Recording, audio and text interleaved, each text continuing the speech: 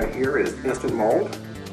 It's a new product. It's a heat activated molding compound that is reusable and non-stick and probably one of the best things I've ever used for uh, do-it-yourself press molding. And how it works is you just add hot water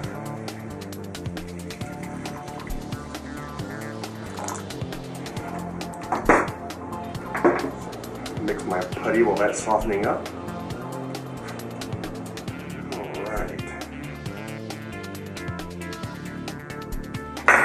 Softens up nicely. And you just press it firmly onto anything you want to make a mold of.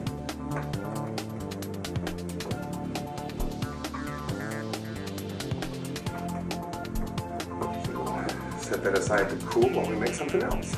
Here I got one pre-made from a toy that had a nice brick pattern on it. Just take your putty, put your fingers a little bit because it'll stick to you, but it will not stick to the instant mold.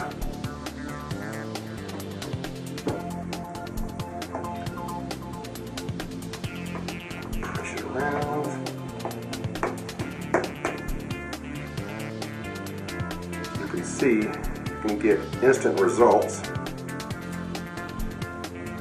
with a perfect copy of what you molded. After everything is cured, you just trim your base out very carefully.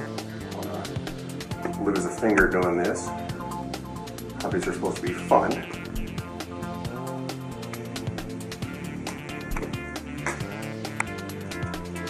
clean up there.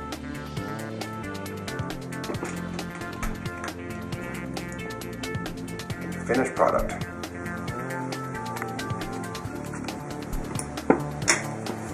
The best thing about this, you're done with that mold, you can either set it aside and keep it, or stick it back in the hot water, reheat it, use it somewhere else just for the minute to soften up, we'll show you something else. Alright? If you ever needed one or two more of a weapon for your army, and don't want to buy that whole other model to get it, or feel like sculpting one for yourself or digging around your bit box, we'll try making a two-part mold. So we'll just wrap the putty around the weapon. Make sure it's nice and snug. And let it sit in cool water for a few minutes to fully harden up. Want to trim away the excess, throw it back in the hot water, it remelts, you can reuse it.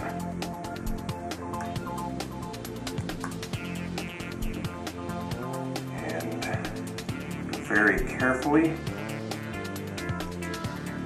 right around the center of the piece you cast, very carefully use a really sharp blade.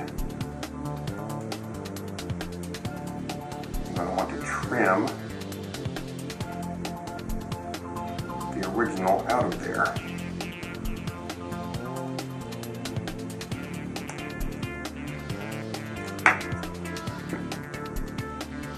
Drop the original. You can see left a nice two-part cast. Alright, we'll just quickly show you how the, the two-part mold worked. Just uh, get your gray stuff or green stuff or whatever color stuff you like to use in there. No mold release necessary, it's non-stick. So far I haven't found anything that will stick to this stuff. Even super glue. So I guess if you get hard up for materials to mold in, just pour some super glue in there and have fun. Get the uh, two halves of the mold line backed up and really hard press on that. Ideally, we let this set fully, but you can see how just really quickly how well the half of the mold came out. You could just rubber band it or clamp it together, let it completely set. Then after a couple hours you could demold it and safely trim around the edges and then you got another sword.